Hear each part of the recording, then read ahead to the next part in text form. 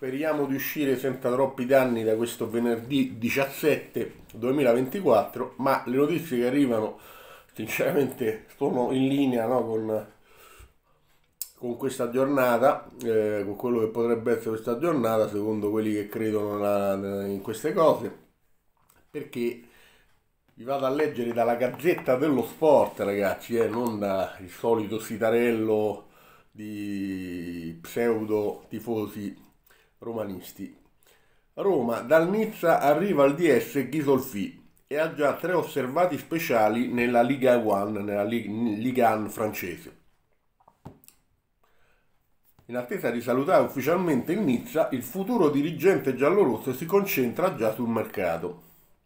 Ieri ha salutato Nizza, anche se l'altro ieri, quindi anche se in modo amaro, perdendo in casa per 2-1 col Paris Saint-Germain giocandosi di fatto le ultime speranze di agganciare la Champions.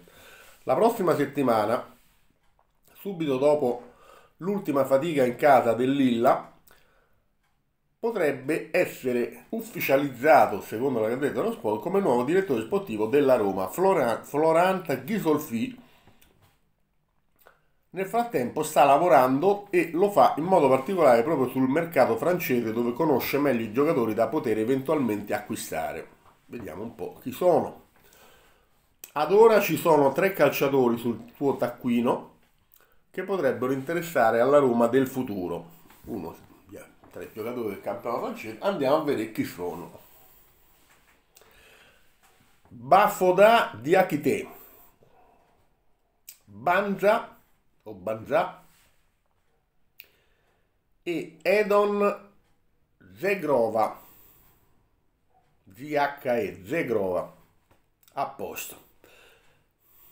Ghisolfi li sta monitorando, ha allacciato anche rapporti con i rispettivi agenti, che non è che vuol dire che la Roma prende questi giocatori, ma sta, sembra che si stia lavorando su questi profili e questa è la cosa grave. Ehm, ci sta insomma pensando su.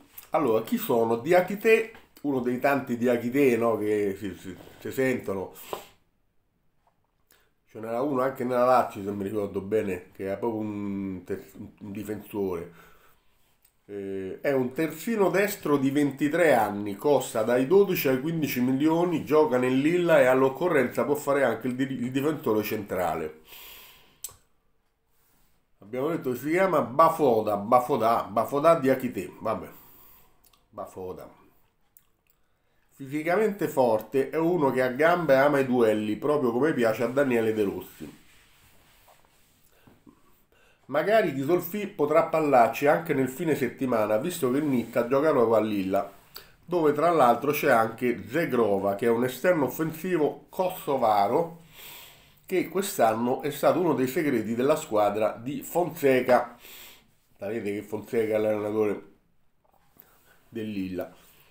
Anche per lui ci vogliono una quindicina di milioni di euro, ma ha 25 anni, è giovane e un range d'età compatibile con gli eventuali investimenti dei Fritkin, che vogliono gente giovane, affamata, che non costi tanto a livello di ingaggio pure e che possa essere valorizzata per il futuro, sempre per la solita logica di riguadagnare poi nel momento in cui cioè, prendi un giovane eh, bravo, diciamo, lo valorizzi questo qua magari ti esplode pure e quindi compi a 15 e poi rivendi a 40, no? È sempre il solito discorso, però il problema è che questo discorso va bene finché questi giocatori poi quando vanno in campo sanno giocare a pallone e manco poco. Eh, un altro aspetto che per De Rossi è basilare, abbiamo visto quindi, dunque, no, un attimo. Eh,